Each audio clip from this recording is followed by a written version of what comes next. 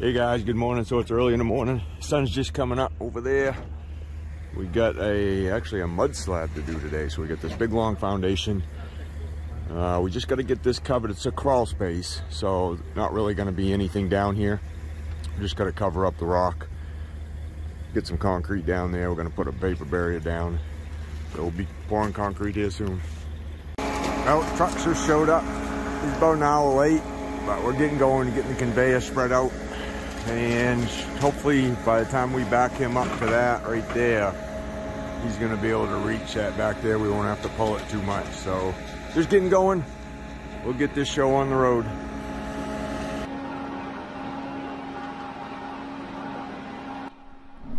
Hey guys, Mike here. Yeah, so this one is a little different than the normal flat and level concrete floors we pour. You know, we'll do a handful of these, what we call mud slabs or rat slabs every year where when they dig the foundation, they just run into some ledge, and either the homeowner doesn't want to pay to have the ledge blasted out to get a full foundation, or they're basically just happy with having a crawl space, you know, and building right off the foundation the way it is like this.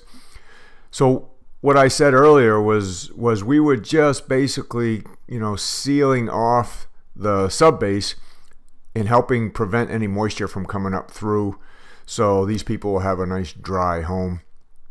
There's, there's probably about a five foot difference in elevation from one end of this to the other. This thing was close to 80 feet long. It, it kind of looks longer in some of the shots I got here, but it's about 80 feet long and it varied in width from, you know, 14 feet to 20 feet with all the different jogs in it. But the, the real thing we're here to do is just pour three or four inches of concrete, and nothing about this part up here where we're at right now was was level at all. It was all jagged, and you saw it in the beginning. They did kind of sprinkle some crushed stone over most of the ledge, but there was a couple spots where you could still see the rock. So I'm just up there. I'm just mag floating it out, you know, trying to get it somewhat smooth just to make it look kind of decent, even though there's really not going to be anybody up here. Once they deck this over with the wood flooring up where I am right now it'll only be two feet of headroom in there. So no one's ever going to get up in there really. We're pouring the slump actually pretty dry. We don't want this to sag any more than it has to. That's just going to make our job a little easier. Even though it's a little bit tougher to get the concrete uh, raked around. It's probably about a four inch slump, I'd say. And the concrete's really hot. This is this is uh you know in December here in Maine, so it is pretty chilly. Even though it looks nice and sunny out and pretty warm, it's in the 20s here this morning, so it's still pretty chilly out. We didn't have to put accelerator in this today because it is going to get up into the 40s. So this will cure good enough to put the, some curing blankets on later in the day because tonight it, the temps are falling back down below freezing, so we're going to want to have to protect this. That blue stuff, that blue poly you see is actually a 15 mil poly. It's, it's an actual vapor barrier. So it's pretty thick plastic. We had some of that left over from different jobs around at the house, so we just thought we'd bring that and use it up, get rid of it. And it worked out really good for this job. So the three of us, you know, we'll get down, we don't want to get too far ahead of ourselves. We'll pour out you know, enough concrete and then the three of us will jump right back and get it mag floated. We can't really screed any of this. It's just too out of level. So the simplest way we found to do it is just kind of mag float it as you go, mag your footprints out, and just keep working your way downhill, basically, um, until we get to that other spot that's somewhat level. We did need the conveyor truck here. We we decided it was a little too sandy over here on the right to try to back a truck around that side. We didn't want to take a chance on getting it stuck. The gravel over there was had a lot of sand with it, and concrete trucks just don't go well in sand. Their traction is horrible. Plus, it was a little soft too, so we didn't want to take a chance on getting something stuck. So I did have them send the conveyor truck first, just in case we we couldn't get over there, and it, that just happened to be the case. That conveyor on that truck reaches about 40 feet, so that made the pour a little bit easier than just trying to just trying to shoot it from the other side or pump it. You know, it saved about $750 from having to pump it just using the conveyor truck.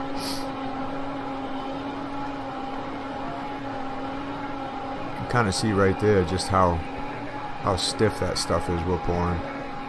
Darren's, you know, kicking stuff up into his feet to fill his footprints in as you go. That's probably the slowest part of this is just as you're magging your way down, you know, you got to fill in your foot tracks. And then, you know, you still want to look somewhat consistent. It doesn't really have to be perfectly smooth or definitely not not anywhere near level, but just smoothing it off. That way, you know, during the building process, if this isn't isn't going to be watertight for quite a while, you know, any water that does get down in here will run down into this lower part, and they have a they did have a four-inch pipe down there that they're going to end up sticking some type of drain on eventually.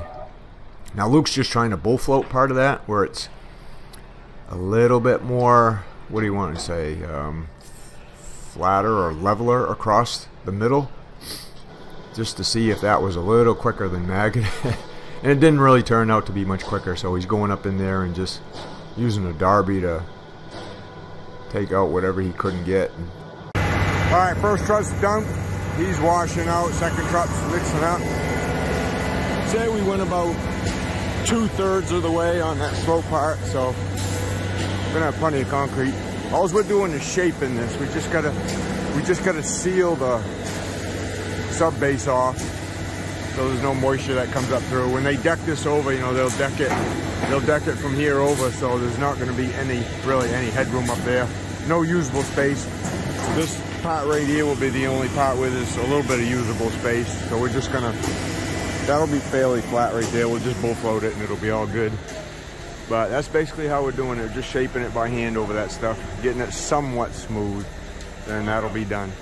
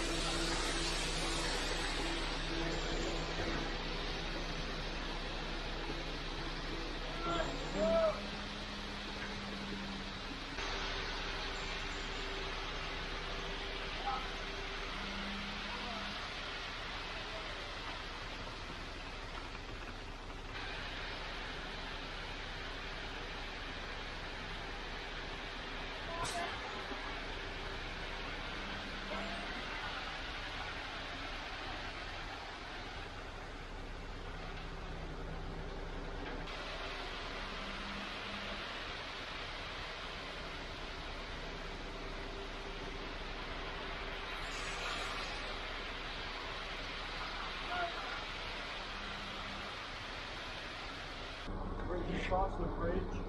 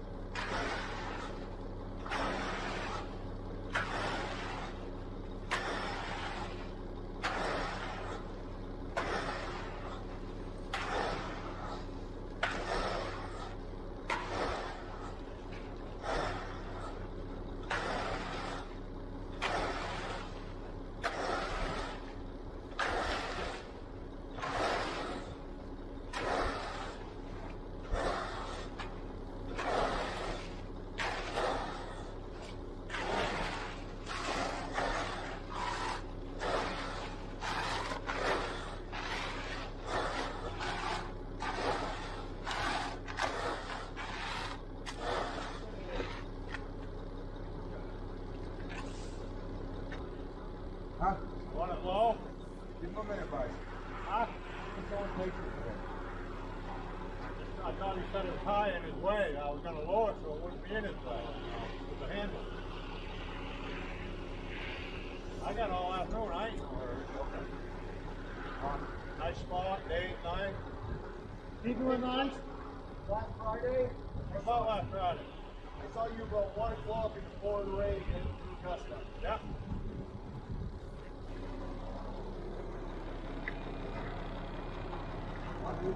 All right, gonna be jumping out that little area, so let's go reposition. Get this thing finished up. Coming out pretty good. With uh, the rocky coasts here in Maine on the coastline, there's a lot of ledge. There's a lot of basements that are like this. Some have more headroom than others, but this one How would you feel if you were here every day and looked at out every This one's day, only got one little spot where it's got week, at 10 o'clock? headroom. Get made out. Why would that be different? We, we can't, it's, it's not the same. We don't have time. Hey, you guys will lose help with it. All right, you win. Okay. You win. Watch out.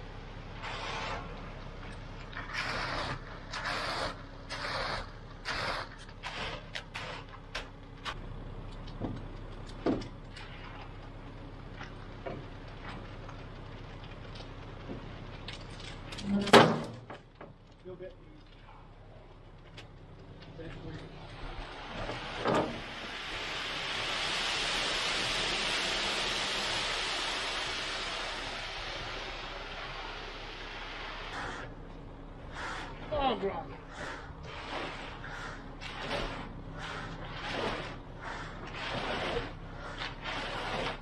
Eight o'clock and he's only in